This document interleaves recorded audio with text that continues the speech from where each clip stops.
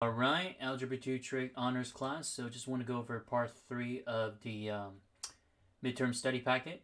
So regarding probability. So 82 all the way to the um, the last one. So we'll talk about some of the problem here. So determine if the scenario involved mutually exclusive events, then find the probability. So 82, you wrote a fair six-side die and the die shows an even number or a number greater than 1. So again, if two things that can happen at the same time, so that would be considered, uh, then that would be considered non-mutually exclusive. But if two things that cannot happen at the same time, so two two things cannot happen at the same time, then that would be considered mutually exclusive. Okay, so you wrote a fair six-side die, and the condition is that uh, it shows an even number or a number greater than 1. Well, even number, that means like what, 2, 4, 6. And also they're considered greater than 1. So that means these two things can happen at the same time. So that can happen at the same time. So this one would be considered non-mutually exclusive. Okay, so this one is considered non-mutually exclusive. So for the event happens like this. So even number. So we got 2, 4, 6. And the number that it's greater than 1. Well, then that would be what? 5 out of 6, right? So number greater than 1, we do have 2, 4, and 6. And also, the number can be greater than 1. it could be what? Besides 2, 4, and 6, it could be 3 and 5. So totally then that would be 5 off 6. Or we can do it this way because that's the key word or. So that means we're doing addition. So 2, 4, and 6. So 3 over 6. Plus the other one. So the one that we have, which is the one that's greater than the one that's greater than 1. So then that would be 5 over 6. But you need to subtract the one that's overlapping. So the one that's overlapping, then that would be considered 2, 4, and 6. So minus 3 over 6. So a over 6 minus 3 over 6, then that would be 5 over 6. A jar contains 5 balls, number from 1 to 5. You, random, you randomly pick a ball. It's number 1 or 3. Okay, so if you select a ball either 1 or 3, and the things that can we draw the ball? It's 1 and 3 together. Well, just one ball, but you cannot have two results. So those two things cannot happen at the same time. So this one would be considered mutually exclusive.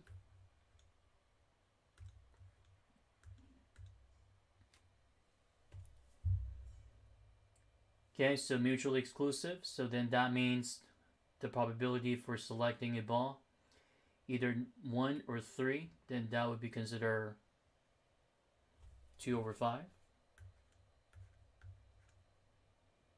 So this one is just like 1 fifth plus 1 fifth. Okay, so 1 fifth plus 1 fifth, showing the word. And again, there's no overlapping, there's no overlapping part. So this one it would be considered mutually exclusive. Again, the key words or. Addition. And 84, a shipment of 11 smartphone contains two with cracked screen, if shown in a random order. So what's the probability that the first nine so have undamaged screens? So the number of total shipments for the smartphones 11. So 11 select 9. So 11 choose 9. That'll be the total possible outcome. The total outcome. And the possible outcome then that would be considered well, 9 choose 9 because two of those phones are what? Damaged with the damaged screen, cracked screen. And then the rest of those 9 phones, they're like in good condition. So 9 choose all those 9 good condition phones. So 9 choose 9 over 11 choose 9. So this one would be considered conditional probability. So 85, a car dealership has 16 car in the lot. Unfortunately, the key to the car have been mixed up and the manager randomly grabs a key and tries to start a car. A salesman also randomly picks a different key and tries to start another car. And what's the probability that both cars start? 16 cars totally. So the first one, so let's start it with the, um, the manager. So the manager just grab a car. So 16. Well, we do have 16 different way to choose the car. 16 choose one. And then one car is being selected. And then times. Well, if one car is already being selected, so that means there are 15 cars remain. And then the sale the salesman just pick another car. So 1 over 16 times 1 over 15. And then that'll be the probability.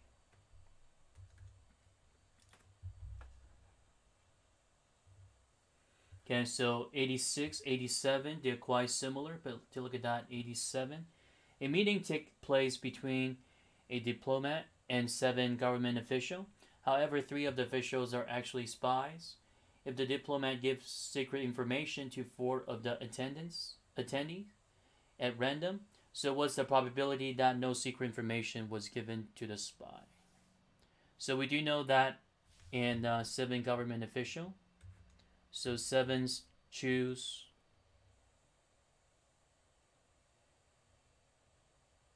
Okay, so what is the probability that no secret information was given to the spy? We do know that and uh, three of those people are spies, okay? So that means the rest of them, they're not. Okay, if the diplomat gives secret information to four of the tenants, so four choose four, uh, seven choose four, and then we need to find out and the one that's considered non-spies so the non-spies would be what four choose four because three of those would be considered spy so this one is quite similar to the previous problem 84 Okay, so now 88, 89, 90, and 91. So a six-side die, it's rolled nine times. So what is the probability that the die will show an even number exactly three times? Keyword exactly. So a six-sided die rolled nine times. So nine, choose three. Okay, so nine, choose three.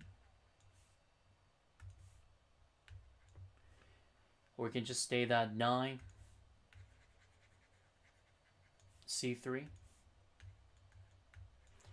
And the thing is that what is the probability that the die will show an even number exactly three times.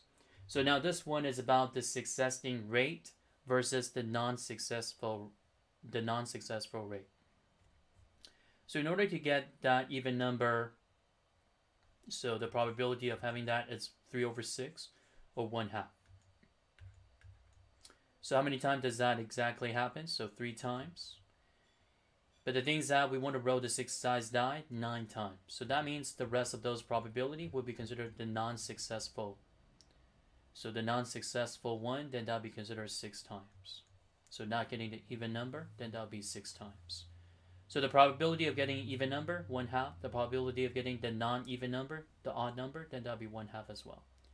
So the successful time that happened is three times. The non-successful time that happened, then that'll be six.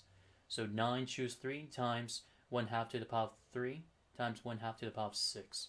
So this one is called the binomial probability.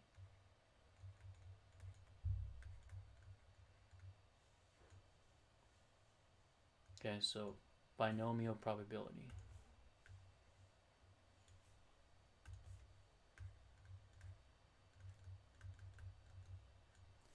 Okay, so the thing is that um, it's about n choose R times the successful rate of the event happens to the number of times and then times the non-successful rate of the rest of the times that the non-successful rate would happen. So then that would be n minus r. Okay, so now let's take a look at that. The other one a test consists of seven true or false questions. A student who's forgot to study guesses randomly on every question. What's the probability that the student answer exactly four questions correctly? So a test consists with seven seven questions. Okay, seven true or false questions. So seven, choose four. So four question exactly right. So the true or false probability. So then that'd be one half. So one half to the power of four, and then one half, the one that he got wrong, and then one half to the power of three. Okay, so 90 is quite similar, and 91 is also quite similar. Okay. Okay, so that's it. Make sure that you guys watch all those three part of the video for the midterm study packet in case that's something you were forgetting or things that you don't remember exactly or you're not quite sure what to do. So to look at those, make sure that you rewind the video or just focus on the one that you have a hard time to deal with. Alright, so I'll see you guys next time. Take care.